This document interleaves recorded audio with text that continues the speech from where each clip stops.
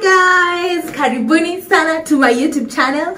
If you're a new subscriber welcome love. If you're a returning baby boo mwah, mwah, mwah, love coming your way. So if you're just seeing this gorgeous face for the first time my name is audrey Chebet and welcome to the family. But if you're a returning boo boo ah sinakupenda wewe. Anyway feel free to tap this this it looks like this not this this.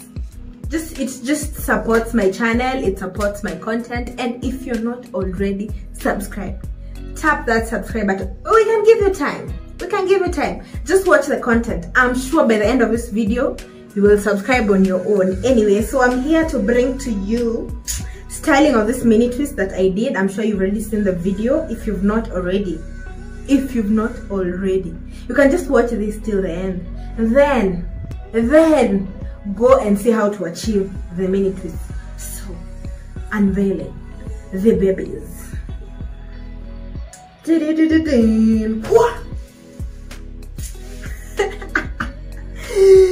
It's giving me some traditional, traditional vibes, traditional vibes. Anyway, before our dress falls off, let's just get right into the video. I put my twist in this style. It's like matutas. It's not like, it's actually matutas, but I didn't twist till the end because I wanted the mini twist to retain their coily nature. Then, so I tied them up so that they wouldn't unravel and I did the matuta thing so that it can just stay in place plus i did a mid part so when i by like when i was ending the video i'm sure if you watch that pre the previous video of me doing the mini twist you see how it ends up. So i wanted to also have the side part action. So that's why i did the matuta and laid especially this part on this side.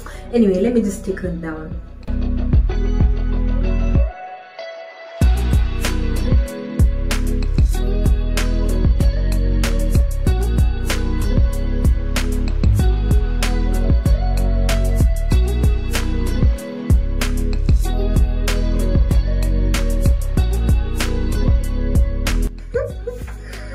they are tiny but it's a whole vibe don't you think?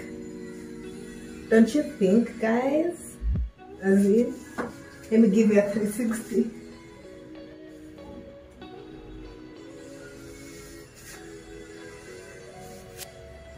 anyway i'm so happy with how they turned out. Let's tell them let's tell them. So you might be asking what do i need for this video? I got you. You'll need a couple of hair ties, several scarves, and maybe a bucket hat. But we'll see, we'll see. So anyway, let's get right into it.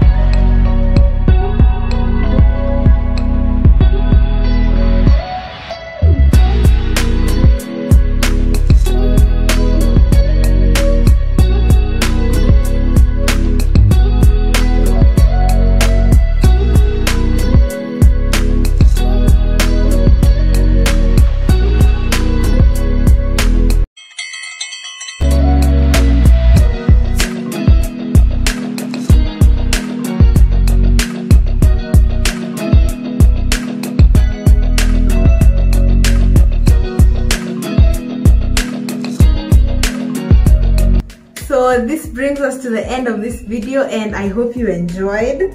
I hope um you learned a thing or two because i tried to make them very simple very simple something you can just do on the go. And kindly feel free to comment down below between styles one two three four or five i think six. Which one of them would you try? Because they are so simplistic so fast and yeah. So i hope you enjoyed the video. I hope it helped you uh, learn a thing or two and i hope after seeing this styling video if you're not already convinced on doing the mini twist i hope this convinces you. Anyway this is the end of this video guys. Thank you so much for sticking around till the end. If you've not already down below hit that subscribe button please. It's a red button and right on top of it there's a notification bell. Feel free feel free to tap on it okay it's free guys. The only thing it does it is that it notifies you whenever I upload a video and it does millions. It does a big thing for me. So thank you so much for supporting me. Thank you so much for walking this journey with me and I'll see you in my next one. Adios